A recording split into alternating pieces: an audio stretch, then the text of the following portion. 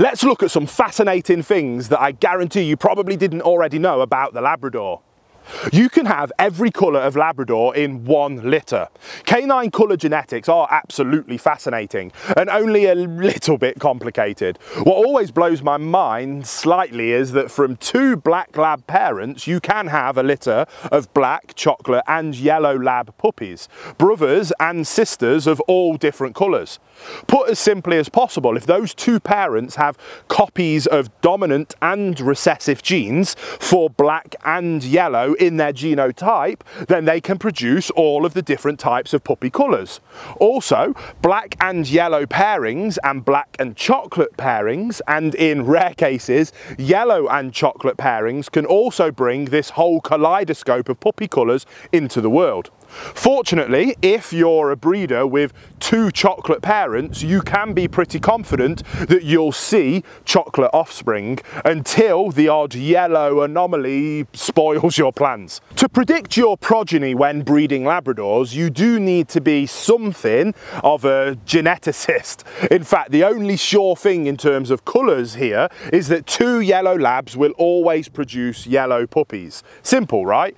And that's before we even get onto the subject subject of those colour diluting and colour deepening genes that produce the so-called red and silver labs to complicate matters even further.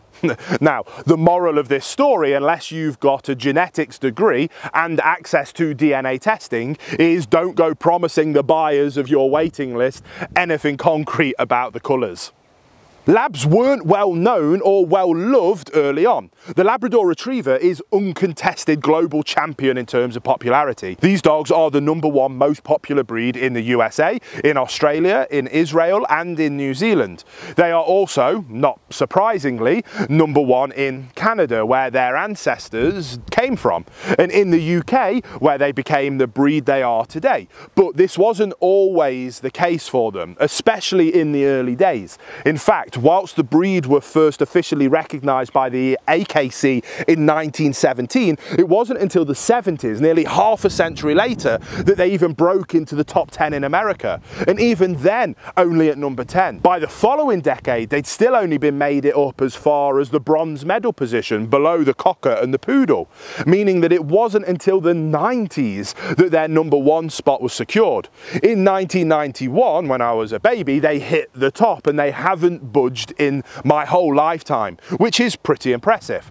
The story has been similar here in the UK, where the breed was established, with the native labs getting a bit of a head start on the competition, but also falling foul of another breed once since they topped the charts in 2019, when Frenchy fever swept the nation. So if there's anything to be learned about popularity here, it's that any excellent dog stands a chance of catching the world world's attention, regardless of how humble its beginnings were or how long it takes to be noticed by the dog owners of the world. Labradors have been known to outlive tigers, and I bet since that's not a sentence you ever expected to hear, it is a fun statistic that tigers live about 25 years on average, and the two longest living Labradors on record made it to 21 and 27 respectively. Only four dogs ever have been recorded as exceeding the lifespan of the 27 year old, a Labrador who did live here in England from the 30s to the 60s. Now, these ancient and hardy dogs were, of course, anomalies, but it's worth pointing out that only Chihuahuas and Border Collies join Labradors in breeds appearing more than once on the list of top 20 longest living dogs in recorded history. Indeed, even outside of the record breakers, on average, Labradors live longer than most other breeds. According to research out of the University of Nottingham, which also noted that they were also more likely to have euthanasia as a cause of death, skewing the average mortality rate downwards, meaning they probably have more years in them. They are far from invincible, of course, and various factors, such as inbreeding, breeding, to status, genetic disease history and sex can bring the life expectancy down, but they are still a very robust and long-lived breed.